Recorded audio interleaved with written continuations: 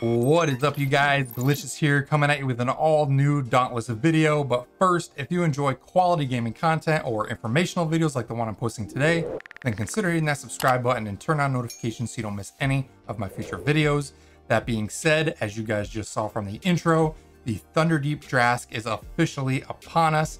It's now arriving in the Shattered Isles on Cape Fury with patch 1.7.1. It's going to drop first thing tomorrow at reset.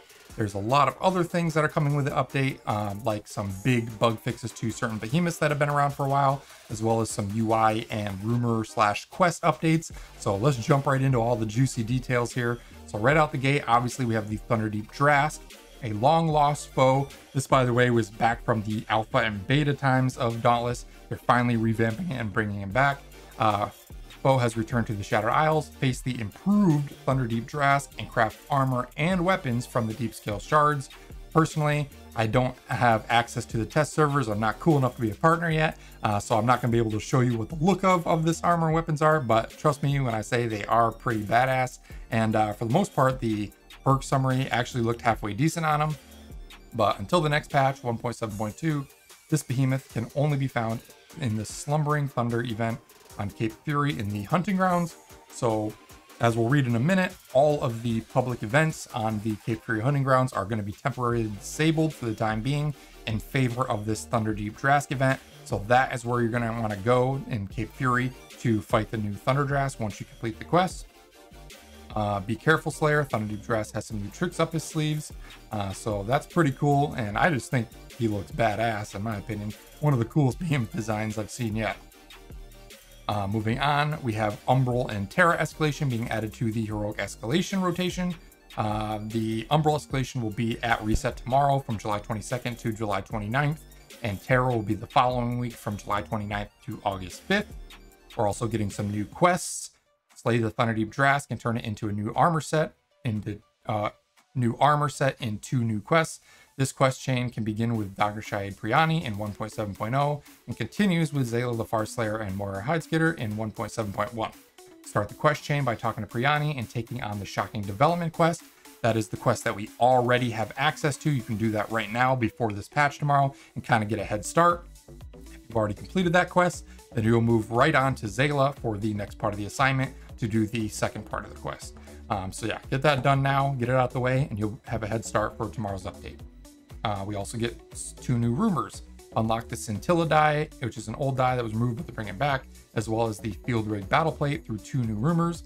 These rumors unlock after collecting their corresponding rumor clues from Thunderdeep Drask and Cape Fury. Uh, I believe one of them is from slicing the tail off of Thunderdeep Drask while it's enraged. I'm assuming the other one will just be maybe breaking the head or while it's Aether Charge, something like that. Um, so it's usually in an enraged state is the, the trigger for those. Uh, but you get them both from Thunderdeep Drask is the, the clues for the rumors. Moving on to balance updates for the hunting grounds themselves.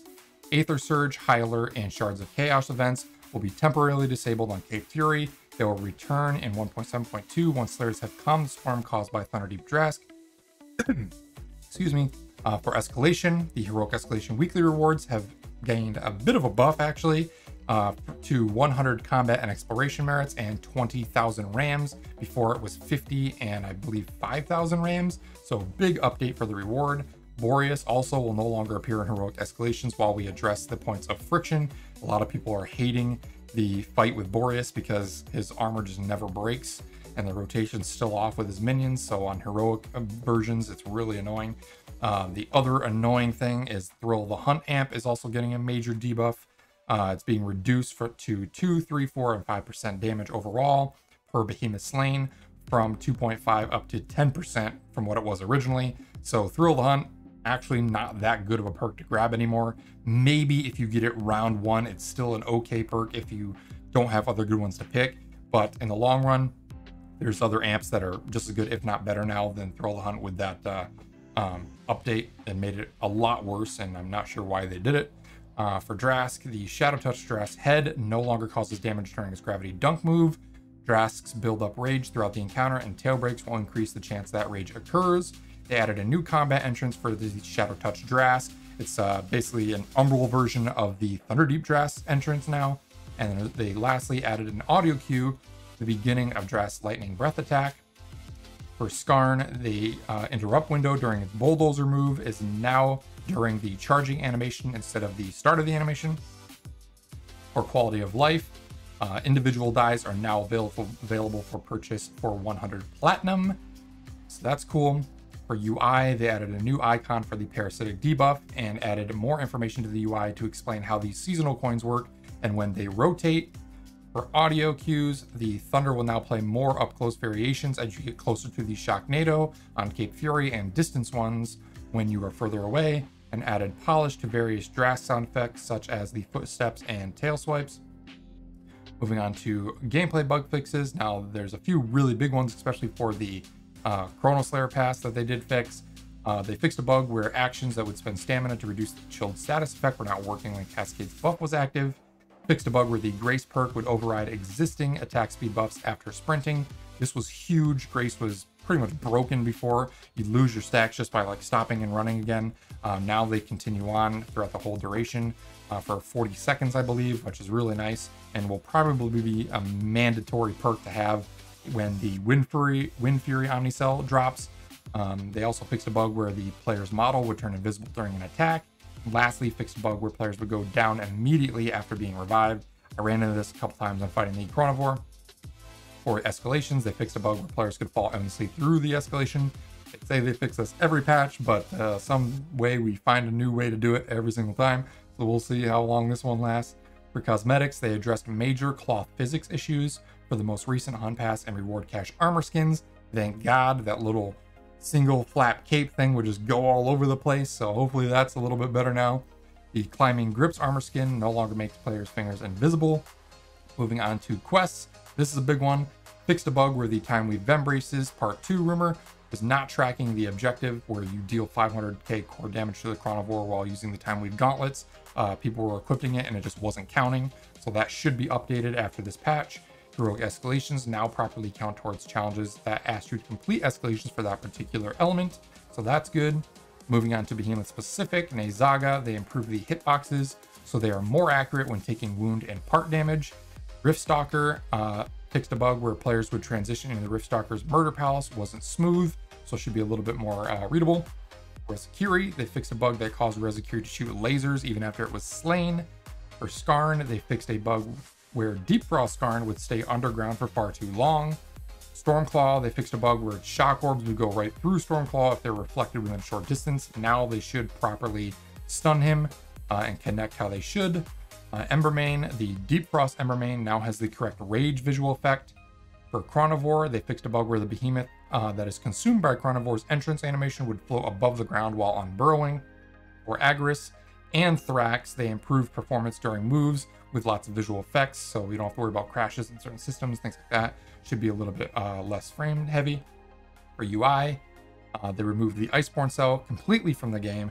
Those of you that don't know, there was actually a bug where you could still get them uh, from the middleman if you crafted the cells manually, so that has apparently been fixed. The Paradox breaks now display the proper level recommendations, which is 16 to 19. Fixed a bug where the Trials End of Hunt screen wasn't displaying the times, fixed a bug where the bounties available widget was active even though all four bounties were active. So hopefully we won't get those yellow dots all over the place constantly. Being in the personality menu when the airship countdown ends no longer breaks the camera. Fixed a bug where players couldn't claim the final reward from the Chrono Slayer's event pass. This was actually a big bug that I personally did. I finished that thing weeks ago, uh, even before this uh, update, and uh, I never got the transmog for it. So hopefully when this patch drops, we'll either just have it or we'll have the ability to claim it again if it got bugged. That's really good. They fixed a bug that significantly slowed results from the progression service. This caused slowdown when drafting bounties, completing bounties, and turning in quests. Sometimes if you click them too quick and things like that, uh, the bounty would kind of do the animation that you claimed it, but still be there and you have to click it a second time. So hopefully that's a little more uh, smooth. Removed last season's Gallable icon from the level up and unclaimed reward summary screen.